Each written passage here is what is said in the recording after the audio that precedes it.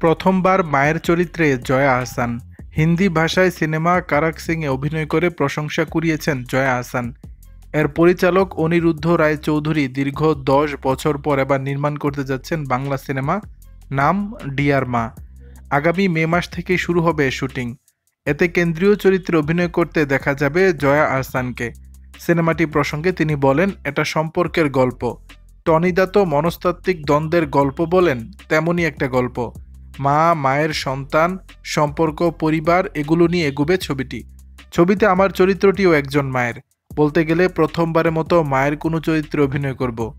জয়া জানালেন, তিনি বর্তমানে সিনেমাটির কর্মশালায় আছেন।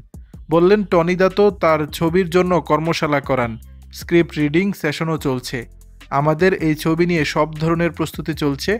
আরেকটা কথা হচ্ছে, স্ক্রিপ্টে এমনভাবে তৈরি যা চরিত্র হয়ে ওঠার প্রস্তুতিটা সহজ করে দেয়।